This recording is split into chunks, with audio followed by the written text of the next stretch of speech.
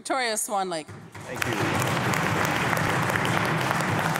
Thank you, uh, Madam Speaker. An entire generation of kids were held hostage in this government's 15-year war on teachers.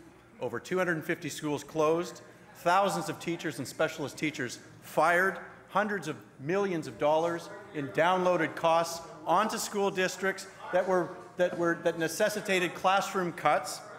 And it all started. Members. It all started, Madam Speaker, when this premier attacked teachers with legislation that was ruled unconstitutional not once, not twice, but three times in the Supreme Courts of this country.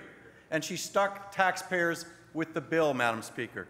So now that the case is settled, now that this government's illegal attack has been exposed for what it is, the Premier, who spent millions of tax dollars in court, doesn't want the public to find out about what they said in open court about teachers. So, Honourable Speaker, my question is to the Minister of Education. If the Minister is so proud of her record, why are her lawyers blocking the public's access to court records on how this government conducted itself?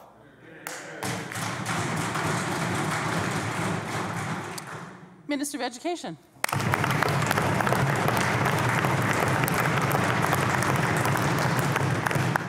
So thank you, Honourable Speaker. The member opposite knows uh, well that we are at the table right now negotiating with the BCTF. In the interim time, we actually just announced $100 million that's going to create almost 1,100 new teachers in the province of British Columbia, Honourable Speaker. I think the member opposite's living in a bit of a dreamland. He's not paying attention to what's going on right now in education, Honourable Speaker. Just wait. Members. Please continue. Thank you, Honourable Speaker. While we're making these record investments, we're also cutting taxes. Maybe the member opposite would not want to fight against those like he publicly says he's going to.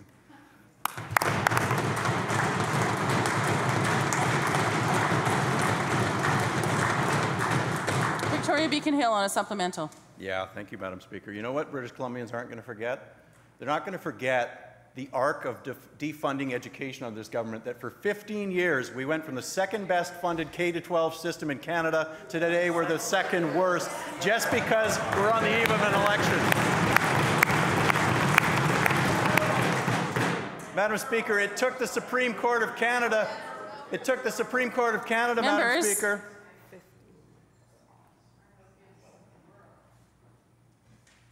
Continue.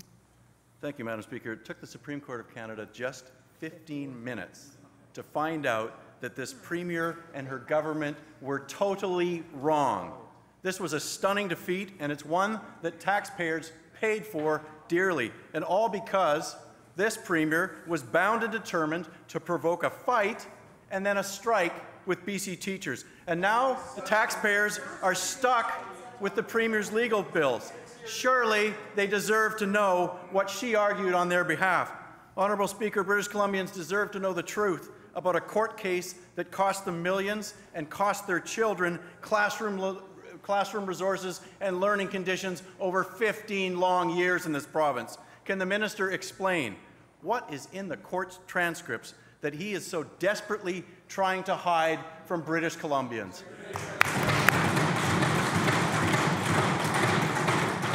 Minister of Education.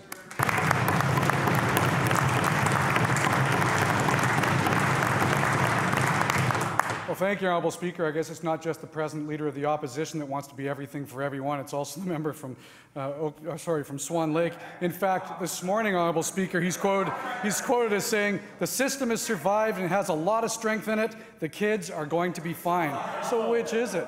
So, Honourable, Honourable Speaker, we continue to make record investments in the province of British Columbia. Members. We are working with the BC Teachers Federation right now, as the member knows. We are working closely to make sure that we have funds available, Honourable Speaker. And as I mentioned, we have the funding that's gone in already $100 million. I'm sure the members opposite are going to vote against that as well. But in the meantime, Honourable Speaker, why do we do this? While we're making record investments, Honourable Speaker, we are tops in the English-speaking world in math, in reading, in science, Honourable Speaker.